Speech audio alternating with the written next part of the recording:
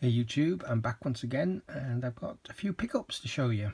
Um, a couple of days late, or a couple of days later than I anticipated. Um, I was waiting for one last thing to arrive um, and Amazon stated it wasn't going to come until today. Um, as it turned out it arrived yesterday uh, when I got in from work late last night. It was sat on the uh, on the mat for me but uh, at that point it was too late to, to record this. Um, so yeah, I've just got a few things here to show you. Um, I'll start off with uh, something that you've probably already seen if you watched uh, my unboxing video last week. Um, I got this from CX. I still had some vouchers left over. Um, so this is the uh, the Blue Man Group. Um, how to be a megastar. Um, even with postage, uh, this was less than four pounds. Um, I didn't know this existed until maybe a couple of months ago. Uh, I saw it on Blu-ray Bullet Brits uh, Blu-ray collection. Um, it showed this and uh, I was quite surprised that it even existed. Um, I've been aware of the Blue Men for probably over 20 years or around about 20 years. They used to do adverts on telly for uh, Intel Pentium computers. And at that time, actually, I thought they'd been created specifically for doing those adverts, but apparently that's not the case. They'd been around for quite a few years before that. Um, and I've seen odd clips on YouTube more recently. Um, so yeah, when I saw this, I immediately went on to, well not when I saw this, when I saw that video, I immediately went on to uh, Amazon and eBay and I think the cheapest one was about 10 quid. And on Amazon there were well over 20. There is also a DVD of a different concert, this is a live concert which um, after I watched this, when I did that unboxing video, um, it was a bit confusing if you remember because it actually says on the disc there DVD how to be a Megastar Live DVD but it clearly has a Blu-ray symbol but then it has a region 1 um, according to this it's region 1 which is not a Blu-ray region it's a DVD region. And again on the back it says region 1 so once I finish recording that video I pop this in just to one to check that it was a Blu-ray and two to see if it would play on a on a uh, region B Blu-ray player and it did. It is a Blu-ray and it played no problem. Um, and I actually sat and watched the entire thing. I did intend just on checking the disc, but it, it, it just sucked me in so quickly. Um, an hour and a half later, yeah, I got on to uh, CEX um, and ordered the the other live show, the DVD. Um, I can't remember what it was called. Uh, and the very next day, I got an email saying that they cancelled the order, even though they've got what about half a dozen in stock in various stores. Um, so I reordered it again, uh, and again they cancelled the order. And over the last week, I've ordered it three times, and three times they keep cancelling the order. I don't know why, because they've got it in stock.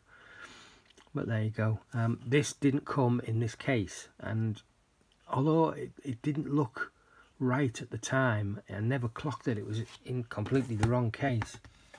And it was in this, which is a, uh, I guess a Criterion style case.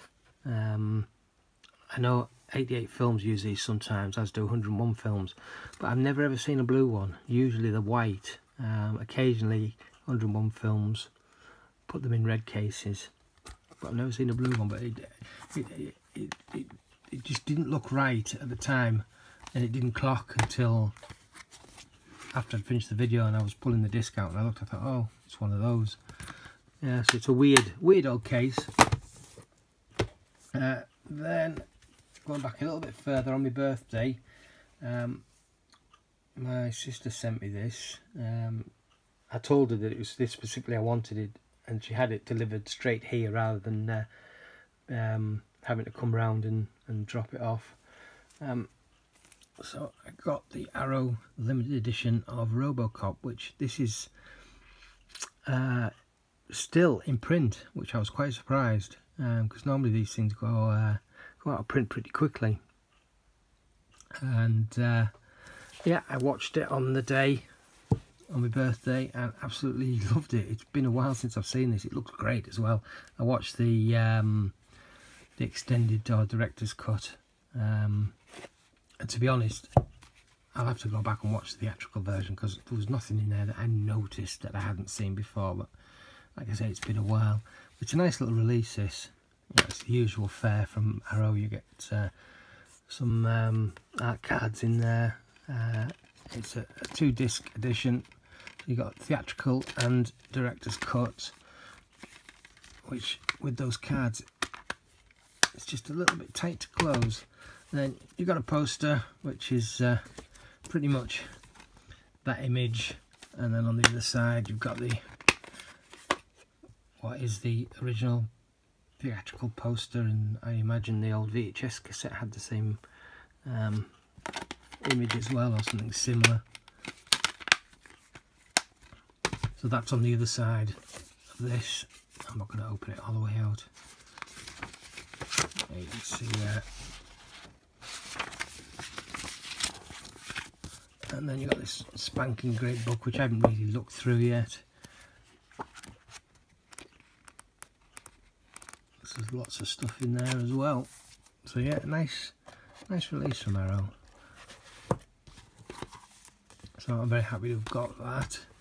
Uh, and then I mentioned in a previous video that uh, I was waiting my brother had texted me saying that uh, what he'd ordered hadn't arrived. Um, and it actually didn't get here until uh, till the weekend. And he popped over on Saturday with it for me. Um, and I haven't got around to watching this yet. Um, but it's something I've been looking forward to seeing for quite some time. Um, and strangely enough it's in a steelbook which I don't get steelbooks much these days. Um, this is Chernobyl the TV series. Um, I know almost nothing about this apart from who's in it and obviously there's, there's stuff that you know about Chernobyl over the years since since it happened. Um, but I'm guessing it's based loosely on on the disaster. Uh, but yeah I've, I've heard nothing but good things about that. Uh, then this we saw again in my unboxing uh, last week Star Wars The Rise of Skywalker. This being the uh, Zavvi exclusive 3D steelbook, which is still sealed. Um, and I had um, I had reservations about this this artwork um, from from when it's when when I ordered it the artwork hadn't been released and then when they showed this I'm like really and yeah I'm still not sure um, but I said there was similar artwork on the standard Blu-ray releases um, and I think that looked quite a bit nicer. And yeah I, I stand by that because out of some of the money I got with me uh, vouchers for my birthday I, uh, I got both of these so we've got the resistance and the first order sleeves. Um, it's difficult to see in these inside these plastic, uh, so we'll slip them out. But these are more of a matte finish, which I think is gorgeous. And then the the the, the two characters are, are, obviously glossy, as is the uh, actually is the Star Wars logo. Yeah, it is quite glossy. It's uh, embossed and then you've just got the standard um, artwork in there for both. Exactly the same inside with the, with the exception of the barcodes. They've got the both got the, their own individual barcodes on the back which is great for cataloguing them in the uh, in the app because that goes by the barcodes. But I, I already had these pre-ordered from months and months and months ago. Um, but when I got the vouchers for my birthday, I just used those vouchers to uh, to add to this order so it actually paid for these rather than the money coming out of my account. Um, and then finally I also got the standard 3D edition. Once again I've put it in one of these plastic sleeves. Um, the one thing I was disappointed about I have to say was uh, the lack of different artwork between the 2D and the 3D with all the other previous Star Wars releases with I think Solo being the exception. Um, I mean The Last Jedi uh, Rogue One Force Awakens have all got different art between the 2D and the 3D releases but they didn't do it this time. But it doesn't really matter because we've got these nice sleeves. So yeah um, these think look fantastic. Again, I did have slight reservations when I first saw these, um, but they've grown on me even before I bought them. But seeing them in the flesh, as it were, uh, yeah, I really, I really like them, and the fact that they, uh, they fit together to make one big picture. It's great, I like that. And then finally, the the one thing that I was waiting for that I ordered off Amazon last week. Um, again out of my uh, out of my vouchers. Uh, this is Retroaction Volume Three from uh, from Network. Um, it was only two ninety nine.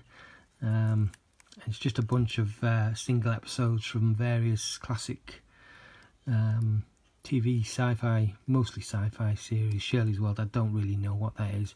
The Invisible Man I used to watch as a kid. I don't think I ever saw the Adventures of Robin Hood. Again, the Baron, I don't really know, but the Saint, I used to love the Saint. Um, I've seen odd episodes of Danger Man, but honestly, I can't remember anything about it. And I've heard of the Zoo Gang, but again, it's something that I've never seen. Um, but yeah, it was two ninety nine. I couldn't pass that up. Um, had CX been open, um, I'd have probably got another one of these because they're trading in at the minute at uh, five pounds. Um, but there's no stores open so I can't take one in and I've got nothing else to send to them.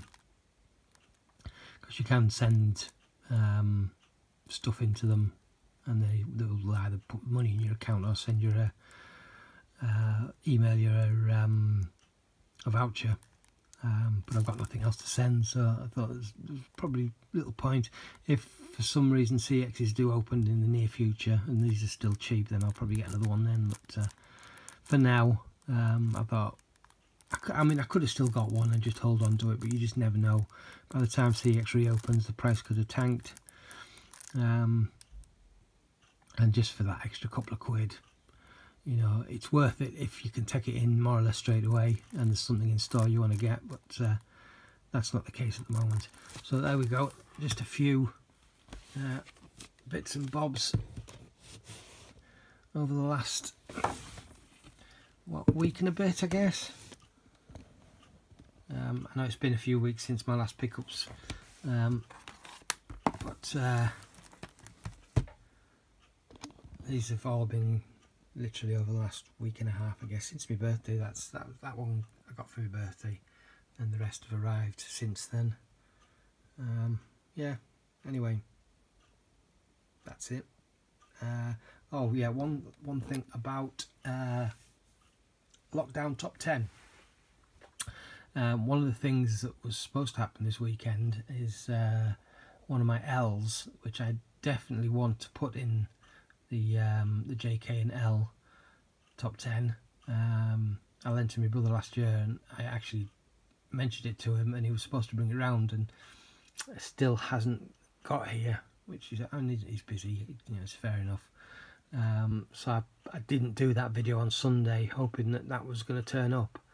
Um, I'm probably going to do that on Friday now regardless of whether I get it or not. I'll text him again see if he can bring it around. If not, um, that video will go ahead on Friday and hopefully be uploaded on Friday and then fingers crossed we're back to normal for this Sunday for uh, what will be after that M, M, N and O be the next one. So I haven't forgotten about that. Um, I just uh, didn't do it because there was something missing. Um, but if, if, that doesn't turn up then I'll just carry on without it. Um, I did record uh, VCD collection video on Sunday, but honestly, I wasn't really happy with it, so I haven't uploaded it. Um, I may well give it another go sometime this week, and see how it comes out. Yeah, so for now, um, as far as pickups is concerned, I have no plans of anything else this month.